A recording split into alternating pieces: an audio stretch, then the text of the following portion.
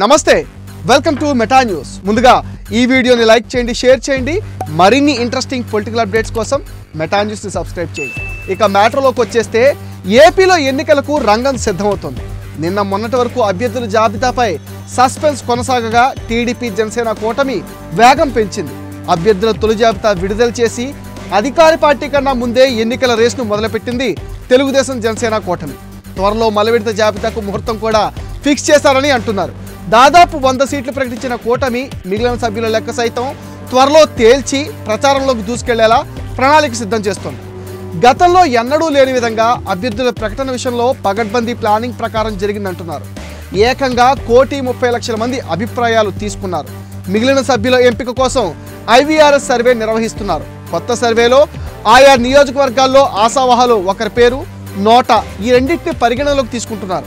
TDP చరిత్రలో ఎప్పుడూ లేనంత ముందుగా అభ్యర్థులను ప్రకటించి యుద్ధానికి సిద్ధమన్నారు చంద్రబాబు.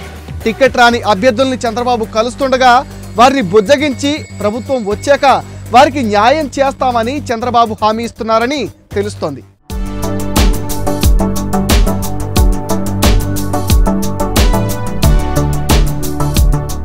తొలి జాబితాలో టికెట్ దక్కిన నేతలను పిలిపించి మాట్లాడిన చంద్రబాబు ఆయా నియోజకవర్గాల్లో ఐవీఆర్ఎస్ సర్వే నిర్వహిస్తున్నారు. ఈ సర్వేలో అనుకూల ఫలితాలు వస్తే ఓకే. లేకుంటే టికెట్ ఇచ్చేది లేదని తెగేసి చెప్తున్నారు.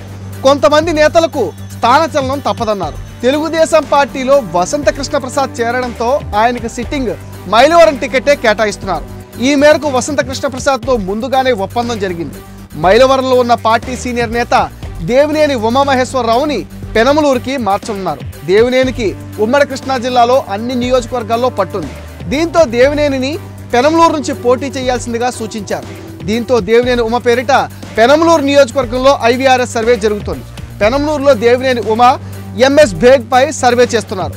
నర్సరావుపేటలో ఎరపతినేని శ్రీనివాసరావు పేరుతో ఐవీఆర్ఎస్ కాల్స్ వస్తున్నాయి. సర్వేపల్లి నుంచి పెళ్ళకూరు శ్రీనివాసరెడ్డి పేరుతో సర్వే జరుగుతోంది. రకరకాల పేర్లు తెరపైకి వస్తుండటంతో సోమిరెడ్డి చంద్రమోహన్ రెడ్డి టెన్షన్లో ఉన్నారు.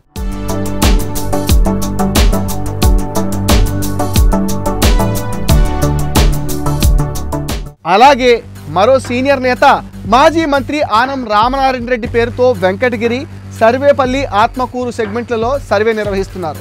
గురజాలలో జంగా కృష్ణమూర్తి పేరుతో సర్వే జరుగుతుందని టీడీపీ వర్గాలు చెప్తున్నాయి. మరోవైపు హెచ్చర్ల నుంచి టికెట్ ఆశిస్తున్న కళా వెంకట్రావుకు అధిష్టానం నుంచి క్లారిటీ రాలేదు. అనకాపల్లి టికెట్ ఆశించి భంగపడ్డ పీలా గోవింద్ కూడా ఏం చేయాలో తెలియడం లేదన్నారు.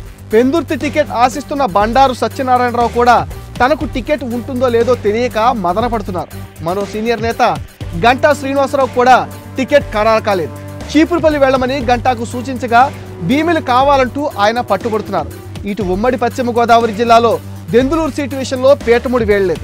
చింతమనేని ప్రభాకర్కు ఇంకా సీట్ ఇవ్వలేదు చింతమనేని కుమార్తె పేరుతో దెందులూరులో ఐవీఆర్ఎస్ సర్వే నిర్వహిస్తున్నారు.